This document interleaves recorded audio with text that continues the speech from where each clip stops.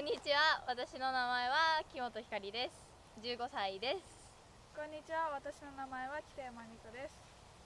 はいじゃんけんします。